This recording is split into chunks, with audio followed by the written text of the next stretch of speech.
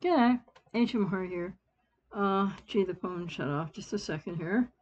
I'm going to respond to another comment on the channel. Uh, yeah, here it is. How about that? Uh, commenter asks on um, the last live stream I did, which was what's the time of recording this? Uh, October. I don't really know. Mm-hmm. It was, um, yeah, I don't know. Recent. Anyways, um, the commenter says, not sure if this question relates to this video directly, but what does it mean when a person with borderline personality attempts to give a significant other authority over a part of the person with BPD's life, over the borderline's life? That the significant other should not really have input regarding. In a strange way, seeking permission, sorry, in a strange way, seeking permission from the significant other regarding types of clothes that they um, can wear or not wear. This seems like an attempt to transform the significant other into a parent. Oh, I would absolutely agree with that. It's very much about that, uh, unconsciously, for the person with BPD. And then the commenter said, if so, why and how does this dynamic work? Uh, I, okay, first of all, uh, the dynamic doesn't work. So why and how does it work? It doesn't work. Why? The why part is because people with BPD have arrested emotional development before or by the age of two. Therefore, they do not have a self and most of the relating they do to a significant other, more often than not, especially when triggered and untreated, when they're untreated and often when triggered, is going to be really unconsciously, unknowingly seeing you as what's known in object relations theory as object other parent representation. In devaluation, wounding parent. In idealization, good parent or parent never had. So people with BP are very much in relationships with others because they're seeking identity and they don't have any ego boundary untreated they don't have any ego boundary between self and other so they do see you as a parent and so this person who's giving you all this authority is really um, enacting uh, or coming from a place of learned helplessness extreme immaturity, inability to make decisions, and extreme poor executive functioning, which to various degrees and levels happens in uh, BPD for people with BPD. So it, you said if so, it, like the dynamic does not work. It's like I've had so many clients tell me, you know, like I like who have children right now, right? I already have kids. I don't need another one. So you really are more with obviously not physically or in, in the adult arena, but otherwise, you are very much with a child. Somebody who has not got emotional intelligence, not matured emotionally, doesn't know who they are. They're looking to you to make those decisions for them and and what clothes they wear or not wear that's a really rather base decision so that just shows the level of their inability to be able to recognize um, any personal responsibility whatsoever. And then the commenter said, I told the significant other that it could be an attempt to triangulate him in the future if he actually takes this stuff seriously. I don't know where that really fits in. Um, I don't know enough about the situation, but I don't think it's a setup or any really grand scheme of conscious manipulation. It's somebody who is with BPD, likely untreated, and acting out the learned helplessness and seeing the significant other as mom or dad. Um, and then the commenter said, um, she can devalue him later using the strange compliance.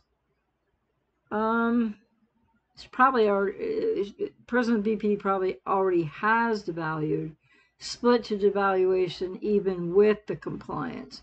But the compliance, as you so as you so call it, compliance, it's not like the person with BPD is consciously aware of this, and it's all a manipulation to set them up and triangulate later.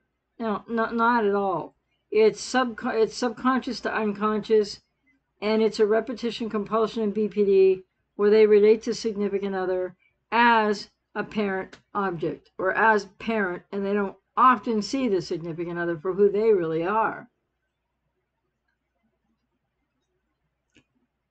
And then you said the significant other thinks it's cute that she is complying with some of the general clothing standards. And the commenter says, I disagree. Well, I agree with you um, and disagree that it's cute. It's not cute at all. This is this person that you're talking about, who's a significant other with somebody with BPD, sounds very, very codependent and isn't understanding that regardless of the fact that you might be, excuse me, ascribing more conscious motivation to the person with BPD than I would, just based on what you've said, uh, yeah, the significant other should not be thinking it's cute. It's not cute. It's the helplessness of people with BPD and their codependency. And then the commenter said, oh, just asked for my thoughts. Well, I just gave those, didn't I? So, yeah, it's, um, that can happen for people who are in a relationship with somebody with BPD, any relationship type really, but especially significant other. And it can happen in a way that whether it's about clothes, decisions on clothing, or decisions in other areas of life as well, it definitely can be, um, they really are relating to significant other as a parent um, from an unconscious place. It's not a setup of manipulation uh, because really, I think that most people with BPD, um, if they really understood what they were doing, they would really want to get help to stop that because it comes out of abandonment wounds and shame wounds and woundedness and and the arrested emotional development. So and it happens in many different ways for many different significant others as well. So it's really important, you know, if you're with somebody with BPD and you see this learned helplessness and you feel like you're being a parent, then you have to recognize that you have been put in that role and that people with BPD are seeking identity through you, and then also in a repetition compulsion way that is unconscious to them, they are re-experiencing when they're triggered or when they feel and when they feel helpless, for example, or can't make a decision. That's often a trigger, and then they don't always age regress, but definitely they're experiencing something dissociatively from the past and the here and now, as I'm often saying, and so they know that the significant other, you know, is not their mom or dad, like literally in objective reality, but unconsciously that fragmented off from ego state of child, uh, that loss of self, there's a real neediness there. People with BPD will manifest that neediness, that lostness, that lack of self in so many different ways. But definitely, if you're going through this, if you can relate to this, you're the significant other somebody with BPD, or you're even like not sure on and off in all the rest of the situations, interrelations people are in, you might think it's okay to just do their taxes with them. You might think it's okay to tell them, yeah, wear those pants, wear that shirt, don't wear this shirt. Making all those decisions for them, like, or, you know, like I've heard, I've had a lot of clients say, oh, you know, we, we were going out to dinner couldn't even decide what restaurant to go to. I said, "What restaurant do you want to go?" I don't know. Where do you want to go? And then, but but when you go when you pick a restaurant, because they won't pick a restaurant, because these are the decision people with BPD lots, and especially in treat have problems, all kinds of decisions, and so they are in that way they're very much childlike, and they are feeling totally helpless, and probably not aware of it, and so they're just abdicating not only all responsibility as people with untreated BPD do in all kinds of ways, but they don't even take they, they can't make decisions or that's how they feel or they never really learned how to make decisions they have no sense of self no self no autonomy. And so often when they'll say you know if you're going out to a restaurant and and you're saying where do you want to go? What do you want to eat? they'll be like where do you want to go? or i don't know or whatever the case. And then you so you make a choice and you go. And then the next thing you know like and you go somewhere maybe you've been a lot before if, if you're married or you know if you've been with the bpd person for a long time or even long enough to know what's their favorite kind of foods or where they eat most or what restaurants have they mentioned before or something like that point being then you get in the restaurant and you get the menu and they're like i don't like any of this food what are we doing i didn't want to come to this place I wanted to go to whatever because I feel like Mexican or Italian tonight. I don't feel like what this restaurant serves. But they won't have made a decision in the first place. And then later they'll just be like a whiny little child. But I don't want this. I don't want anything here. Why did you bring me here? So again, not really forgetting, but taking no responsibility for the fact that they didn't make a choice.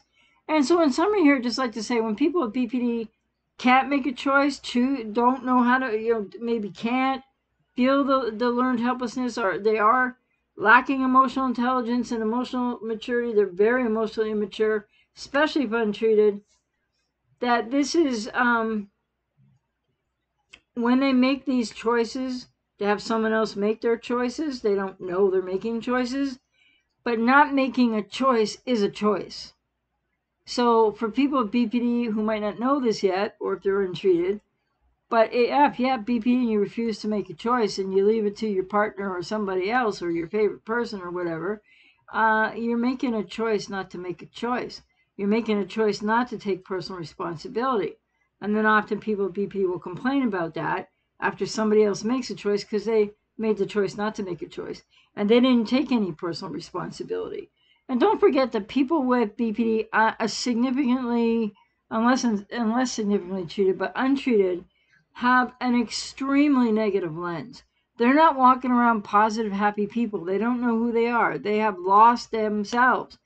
So they're going to be negative about most things. And then when they abdicate, make the choice um, that they don't realize consciously to not choose, then when you whatever it is they might not agree with your pant selection or your shirt selection or the, the restaurant you chose to go to because they wouldn't make a choice or what you're cooking for dinner um, all of this stuff because people with bpd are highly negative most of the time until unless treated significantly treated or beyond and recovered so with that negativity too it's like that's another moving piece of why these relationships, especially with untreated people with BPD, present an impossibility.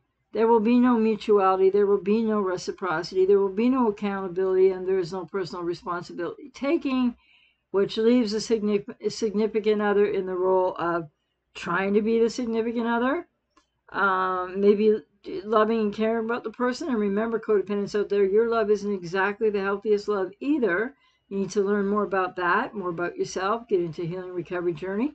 And the last thing I'll say is so many roles that a significant other could play, but definitely the role of parent. And it's not cute, it's not funny. Person is abandoning themselves. Will they do that? Uh, if if I don't have anybody with BP in my life now, but if somebody were to ask me, you know, like constantly because I could have made a choice, uh, other than hey, does this look better than that or something, I'd be like, I don't know, go figure it out. So if you're talking to your friend, to the commenter, you might want to point out if you know they're open to hearing you.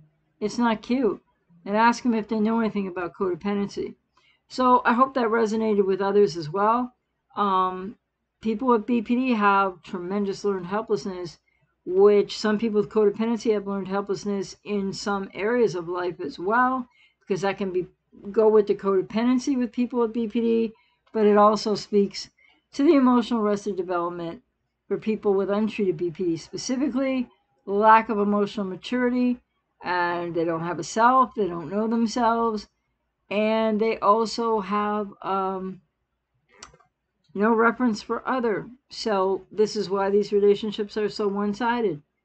And really, if you resonate with this, or if you've done things like this and made choices for somebody with BPD, or you might still be doing it, uh, bet you anything you it's not your favorite thing to do.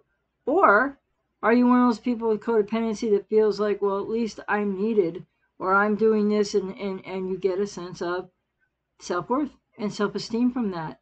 Because if that's the case too, hey, you deserve so much better. You need to take care of yourself.